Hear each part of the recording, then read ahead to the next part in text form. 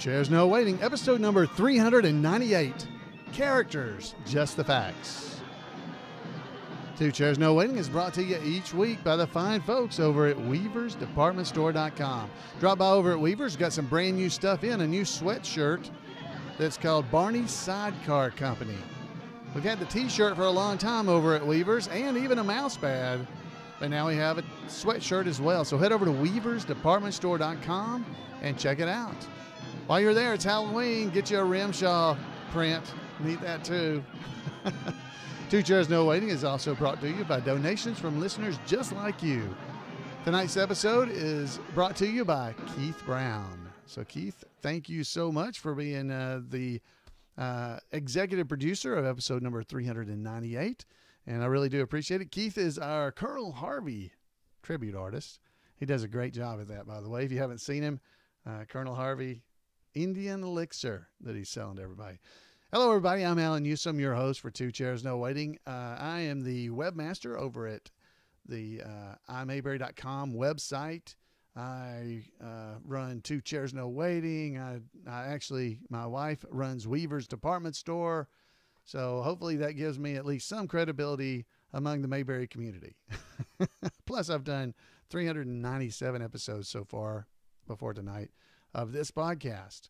Now, folks, it's Halloween time. Before we get started, tonight's episode, we're going to be talking about characters, just the facts. We've already done uh, Andy, just the facts. We've done Barney, just the facts. And we've done Aunt Bee, just the facts. So you can head over to our uh, the website Two Chairs No Waiting, and there's going to be a link in the show notes that'll take you directly to all the episodes that are about just the facts. Uh, but I was going to do one about Opie, just the facts, but there's only a two facts about Opie. And the fact, I'm not saying F A C T, fact. I'm talking about FAQ, frequently asked questions. So that's what I'm talking about. So uh, now, so so that all said, we're going to be talking about characters, just the fact. So it's characters and uh, uh, roles like that that are not well, uh, you know, they're not major roles; they're kind of supporting roles for the Andy Griffith Show. That's what we're going to be talking about. Uh, and so I, I, thought this would be a fun one to do. Now, I was mentioning earlier, uh, since it's Halloween time, next week's episode, uh, we're going to do uh, one that we've already done, basically. So a year ago, I did this, and I thought it was pretty fun. So I'm going to try to do it again. I may come up with another story to go with it. But next week, since it's Halloween time, we're going to do the episode. We're going to do Who Stole My Golden Arm. Now, I did that a year ago, I did it a year ago and it was fun.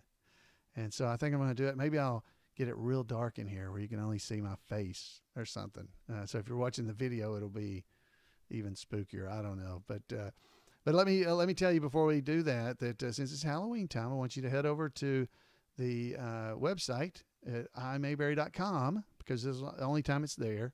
But you can go to the old Rimshaw place. So let me click it. If I click on this link, it'll take us over to the old Rimshaw place. There we are, folks. You need to go over there and get some of these awesome, I guess you call them templates for making jack o' lanterns. So you can make a Barney jack o' lantern, you can make a Goober jack o' lantern, there's a Floyd jack o' lantern, and an Opie jack o' lantern. So you can head over there. And as you hear the music is playing when you go to that website, that's what I'm looking at the website, and the music plays and uh, and I fixed it this year so it's not as loud. Plus, you can hit pause, and it'll quit playing. Okay, so it'll, it'll stop. It, try not to click on the eyes because if you click on the eyes, it'll take you somewhere else. But but when you're there, folks, and looking around, you're gonna see uh, you're gonna see the uh, uh you're gonna see the axe floating around. You're gonna see all kinds of cool stuff there at the uh, site. So head over to it's imayberry.com slash rimshaw or just head over to imayberry.com and click on the link and you'll see it there. And as you go down, you can scroll down and you can click the patterns and you can bring up the Barney uh, Barno lantern pattern. You can print that out and you will be able to uh, use that to make your own Barno lantern. Now, as I've mentioned before, there uh, are some eyes that follow you around on the page. So as you move your mouse around, it'll follow you. If you're using a a touchtone or not a touchtone, a telephone, a smartphone, uh, or something like that, it'll move around when you touch it. Wherever you touch it, it'll come try to get your fingers. So be careful. There's eyes there. All right. I don't want to, that wasn't really wanting to dwell on that tonight, but uh, it's a lot of fun. I think it's fun heading over to the Rimshaw place and uh, getting those patterns. As I've mentioned before, right over my left shoulder, I had to look to see which one was left. Uh, you can see the Barno lantern I have setting on top of my filing cabinets if you're watching the video. And there, there's a lot of fun. You can get those and go. So, okay, that's enough of that. Tonight, as I said, we're going to be talking about the facts. So, again, if you head over to uh, imayberry.com to the website, if you go there, uh, there is a link on the right hand side of the page that says frequently asked questions. Now, when you go to that link, it takes you over to the website uh, is called it's the I Mayberry Historical Society is where it takes you, uh, but it takes you directly to the facts. The category is the FAQ, the frequently asked questions, and so the ones we're going to cover this uh, this episode, we're going to cover the ones about supporting characters. So it's about supporting characters and roles. So we got uh, 19 questions to kind of cover. And so you guys are going to learn some Mayberry, Mayberry goodness, I guess we could say, uh, as we go through here. So whoop, that didn't show you. Let's try this one. So let's go. First one is about Count Istvan How fitting after we've been talking about the Rimshaw house. So here's the uh, here's the information. Count Istvan Teleky. Now, folks, this, for those that don't know, that's spelled. It's Count, of course, you can spell count. Istvan, it's I S T V A N. Istvan. Okay, Teleky, T E L E K Y.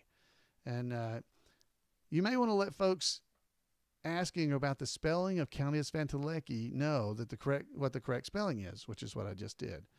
Goober's Beck and Clark, that's Ken Beck and Jim Clark, they had a different spelling in the early editions of the Andy Griffith Show book but later found the correct spelling in a copy of the episode's script. Okay, so Istvan, by the way, Istvan, I S T V A N, Istvan Teleky. Istvan is Hungarian equivalent of the name Stephen. The correct spelling of the Count's name is in the 35th anniversary edition of the Andy Griffith Show book by Beck and Clark, along with other corrections that they've discovered throughout the years. The research continues, and that was provided to us by Jim Clark. Jim Clark, presiding goober of the Andy Griffith Show Rerun Watchers Club. So, all this information, as I said, can be found at mayberry.info, and it's the facts, FAQ section you can read. Okay? You can get to it from imayberry.com as well. Next up, who played the old, thin, white haired gentleman who sung for Barney uh, when he was behind the curtain while Barney was singing? You remember that? You remember that? That's uh, well, that was Glenn Cripes. You remember that? The character's name was Glenn Cripes, and he was played by. Uh, oh man, I should have looked up how to say his name. Delos, D E L O S, Delos Jewkes, G U K E S. He appeared in several episodes, but he was never given screen credit. He always appeared in a group like a choir or the church congregation. So his name is D E L O S D E L O S G A. It's J E W K E S Jewkes. Delos cute Chuk. I don't know how to say it. See, you need to just go read it for yourself, folks, because I don't know how to talk. so next up, was there ever more than one person that played Asa, the character Asa? Asa was played by only one actor, so you know this.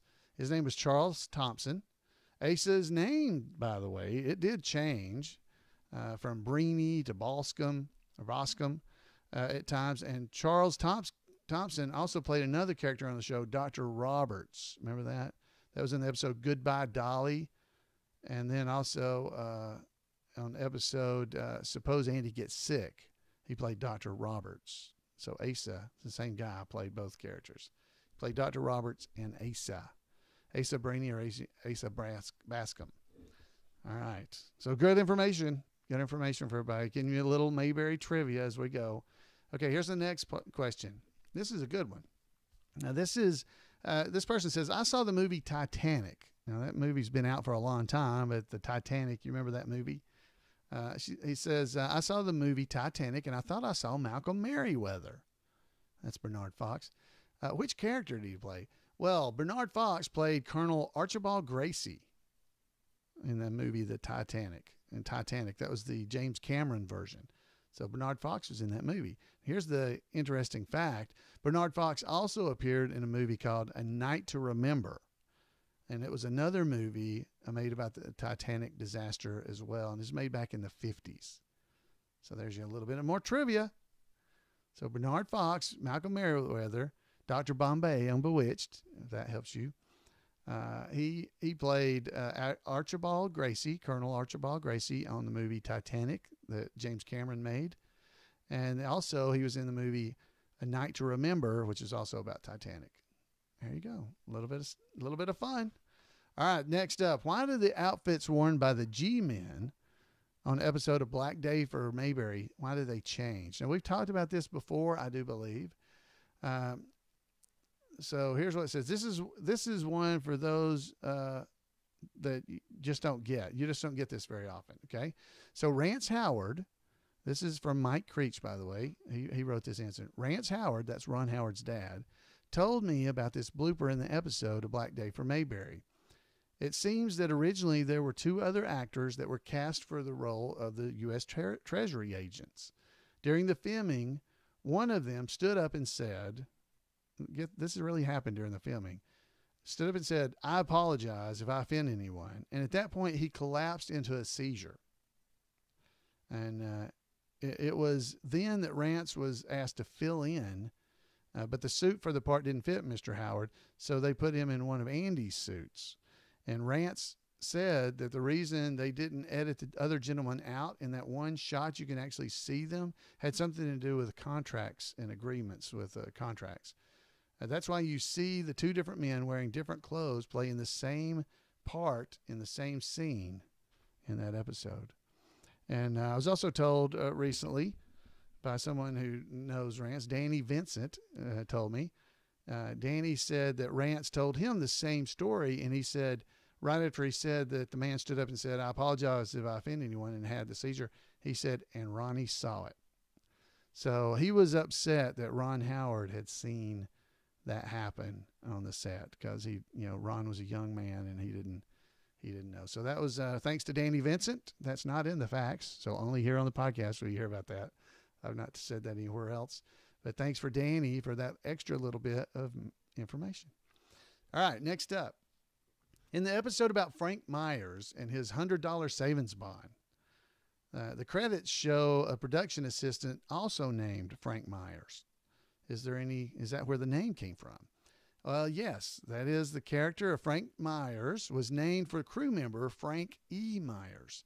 The Andy Griffith crew joked that actor Andy Clyde, who played the part of Frank Myers on the episode, looked just like the real Frank Myers. And when that episode, Mayberry Goes Bankrupt is the name of it, was finished, Frank Myers, uh, the crew member, kept the prop mailbox with his name on it. so he kept the mailbox. Myers Lake, actually, uh, California's Franklin Canyon Reservoir, was named after Frank Myers as well. If you'll remember, it's Myers Lake. Uh, since it was uh, his idea to film at that location, so they called it Myers Lake. Frank also had two sons who served as in the studio in various capacities. Tom Myers appeared as an extra on several episodes of Gomer Pyle USMC, and Charles Myers, Frank's other son, served as assistant director on that series. Charles also appeared as a Marine recruit in the Gomer Pyle pilot episode. Oh, wow. Cool information. You know, the bad part is I know this stuff and I don't even remember it. I'm sure I'm glad I read it again. so that's pretty neat. I hope you guys are enjoying this stuff. All right, next question. Wasn't there more than one Wally? Oh, yeah. There were there were not uh, there was not just one, not two, not three, but there were four, four different Wallies throughout the run of the series. As follows: It was Norman Leavitt who appears as Wally in Lawman Barney and Man in a Hurry. Leavitt had previously appeared as Cal in two episodes, The Manhunt, and Gil in Andy the Marriage Counselor, and as a coffee shop owner in Barney Gets His Man. So he had also appeared as those characters. Wally was played by Trevor Bardette uh, in Homer uh, Gomer the House Guest. Okay, and Cliff Norton assumed the role in Goober's replacement. And finally, Blackie Hunt plays Wally in the episode Barbershop Quartet. However, it's not clear if Wally we see in Barbershop Quartet was supposed to be Wally from the fill station or just some random guy named Wally. Okay, so there you go. Oh, that's good information. Good stuff. Man, this is good stuff. I'm glad I found it. All right, next up. There's a man, okay, we've talked about this one before. There's a man in a bunch of episodes in the crowds. Now, if you folks watch this a lot, you'll know. He's always wearing a white hat, but they never tell his name. Who is he? Well, if you spot him on any of the following, he goes through several things here. Uh, it's uh, his, his, the door slammed in his face and uh, in Opie's face when Opie tried to sell him miracle salve. That's one of the episodes he was in. He was a bulldozer operator uh, when Mr. Frisbee still was there with a drunk rooster. You remember that episode? He was a bulldozer operator. He was a grocer painting the window Hollywood style, and Hollywood producer came to make a movie, and the whole town, uh, whole town started acting crazy.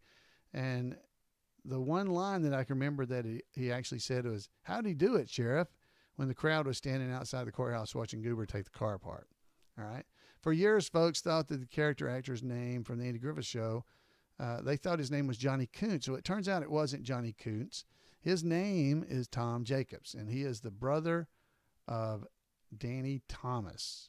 So if you're watching the episode, I will show you who he is. Tom Jacobs is his name. Uh, as I said, he was Danny Thomas's brother. And on the Andy Griffith Show, he made all kinds of uh, appearances because uh, as an extra on the Andy Griffith Show. But Tom Jacobs is his name. If you ever see him, he's always wearing a white hat.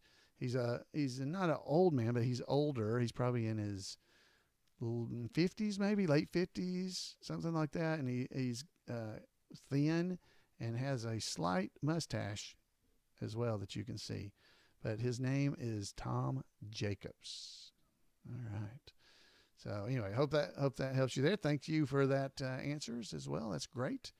All right, next up, there are several references to Miss Clara Edwards. She was the pickle champion, uh, so we know that she was married, uh, but not many to Miss Flora Edwards.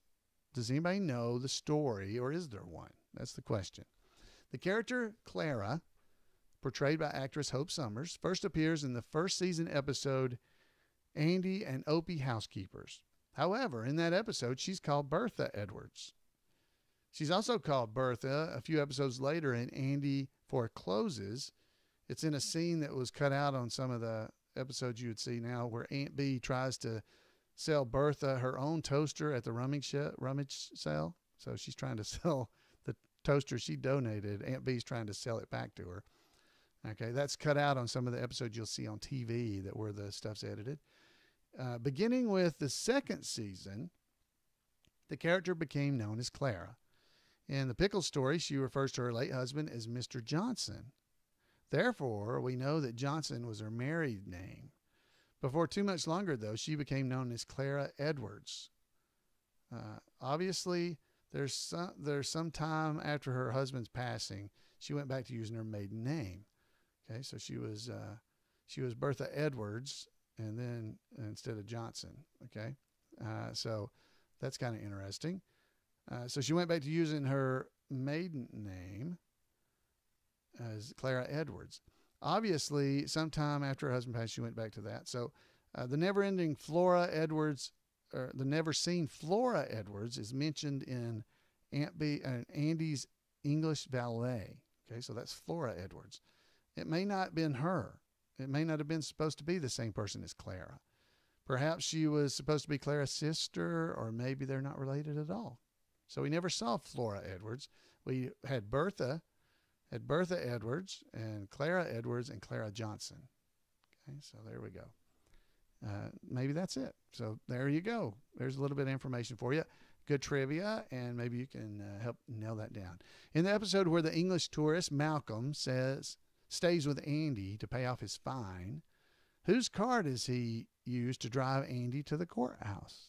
Oh, Yeah, at the beginning of the episode number 89, Andy's English Valet, Aunt Bee says that the car belongs to Miss Edwards. She wants Andy to drive it while she's out of town so that the battery will stay charged. Later, when Barney stops by at supper time, Andy refers to the vehicle as Flora's old car. Well, so maybe that Flora Edwards and Clara is the same person. Therefore, the car belongs to Miss Flora Edwards. Or actually, let's see, it just says Miss Edwards car. Maybe that's maybe that's where the confusion always comes in, because it says here that uh, Miss Edwards wanted him to drive it, but it's Flora Edwards, so it may not be Clara. You know, I never put that together. Hmm. There you go. So it's Flora Edwards' car, Flora's old car. All right, next up, what's Mayor Pike's first name? Mayor Pike's first name. Mayor Pike's first name was never given. The character was based on an old feller named Floyd Pike that Andy had known in Mount Airy, North Carolina. Perhaps the writers intended that uh, Mayor Pike's first name would be Floyd, but it's never used on air, so we don't know. There you go. So Floyd Pike is where the name, the last name Pike came from, and he was a fellow uh, from Mount Airy, North Carolina. Floyd Pike. There you are. So that's probably where they got the name Floyd for Floyd the Barber as well, I would guess. All right, how many different actors played the part of Ben Weaver? Ben Weaver was played by three different actors. Ben was first played by Will Wright in three episodes. Then Tol Avery assumed the role in The Shoplifters. And finally, Jason Johnson played Ben in one or two color episodes. So there's three different actors that played Ben Weaver. All right, next. One of the girls who gathered in Andy's house to meet Thelma Lou and raised the question, What did we turn out for? Sounds just like Judy Jetson. Judy Jetson from the from the the cartoon The Jetsons. Was it the lady who played Judy did Judy's voice on The Jetsons?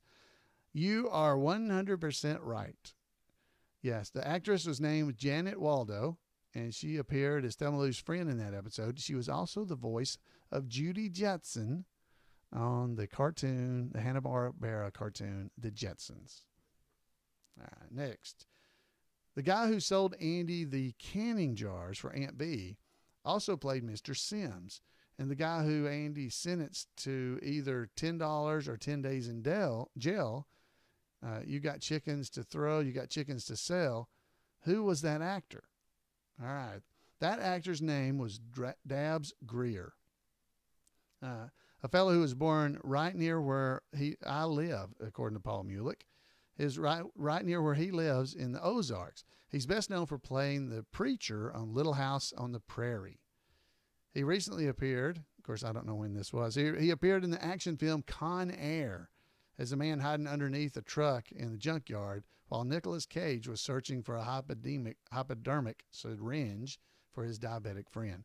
Besides the three roles mentioned on the Andy Griffith Show, he appeared one other time on the Andy Griffith Show as Councilman Dobbs of Greendale in episode number 44, uh, Sheriff Barney.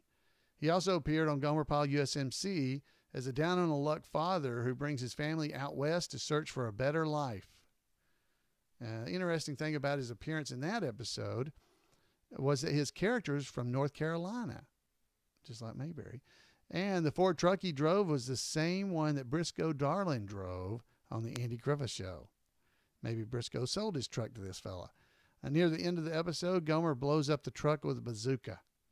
So that's from Paul Mulick. Thank you, Paul. Thank you for that answer. All right. So here's, uh, I think we only have a few left here. Oh, wow. We're, I need to cut it off, I guess, here. We've been talking for a while. Does anyone know who the actor that played Mr. Schwamp was? Oh, nope. The answer is no. We have asked everybody. They asked Andy, Don, George, uh, George Lindsay, and just about every member of the cast and crew that we can think of, and none of them know his real name. They all remember him, but nobody seems to know his name. And by the way, his name is spelled Schwump, S C H W U M P. W U M P, because we found it actually spelled out in a script, which was the Bible for Mayberry in spelling. So we go by the script. All right, so next up, What's Big Maud trying to say when Floyd, when she sends Floyd to town? It sounds something like Akabaka. All right, so here's what it says. It's an old rhyme, kind of like eeny, meeny, miny, mo, that goes like this. Akabaka soda cracker, akabaka boo, akabaka soda cracker, out goes you. And it seems to fit since she's telling him to get out. Okay, so that's what she's trying to say. Big Maud sounds like she's saying akabaka. That's what it is. What actor holds the record for appearing on the Andy Griffith Show the most different roles? In the most different roles. Well, that record goes to Bob McQuain. He holds the unofficial record for an actor who played the most different roles on the Andy Griffith Show, approximately 15 different roles in various episodes. In The Big House, Mr. McQuain played a policeman. And in Aunt Bee the Warden, he played uh, Ike Gordon. Uh, Mary Lansing comes very close uh, with her appearances because uh, she has 13 different parts. It's hard to get an exact count because some of the episodes her characters are not referred to by name, making it really impossible to know whether they were supposed to be the same character from a previous episode or a new one altogether. So Bob McQuain, it would be the male, the man who has the most uh, roles, and Mary Lansing would be the female. All right, folks, two more questions here. Let's knock these off here. Uh, in the absence, oh, here we go. This is always a hard one. Here we go. This one is uh, controversial, so let's go with it. In the absence of black people in any small town in the South is an impossibility. Did the writers deliberately script only white people for the Andy Griffith Show? Okay. So, first off, you're 100% wrong. It is not an impossibility because there were no black people living in the part of Alabama in which I grew up in. I mean, there were none. Uh, there were a few black folks in the county seat, which is down in the valley, uh, but there were none living up on the mountain, which I grew up on. The mountain has over 40 towns, uh, ranging in sizes from 4,000 up to about 15,000. So your assumption is completely wrong. Many towns in the South uh, did not, do not have black people living in them. Also, you're wrong to say there are no blacks in the on Mayberry. If you watch the episode in the backgrounds, you'll often see black townspeople walking down the sidewalk and being part of the town. One that comes to mind right off uh, is when Mr. Ed Sawyer was in town, the stranger in town. You remember him? When he's being confronted by the townspeople on the sidewalk, that crowd contains at least a few black people uh, in it. Of course, there's also one we always talk about, Flip Conroy, played by Root, uh, Rockne Tarkington. Uh, he was going to coach Opie's football team on the episode Opie uh, Opie's piano lesson. In that episode, episode Flip says he returned to Mayberry after his pro football playing days are, were over to run his father's business. Uh, this was the first and only time, really, that a black act- actor was featured as a main character. Up until then, they were just extras, is all you ever saw. Uh, in my opinion, not having blacks on the show was just a reflection of the way things were and actually still are in some places in the South. I'm not talking about just the South, but all over. Folks tend to, no matter how sad it is, flock together in groups. It's not unusual for black folks to have mostly black friends and white folks to have mostly white friends. Uh, and that's today's world.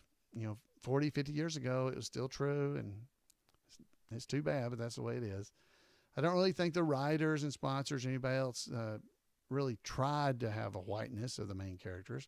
I think it was based, you know, on truthful storytelling and, you know, retelling stories revolving around or relating to stories, you know, uh, about Sheriff Taylor and his friends. It's nothing else really.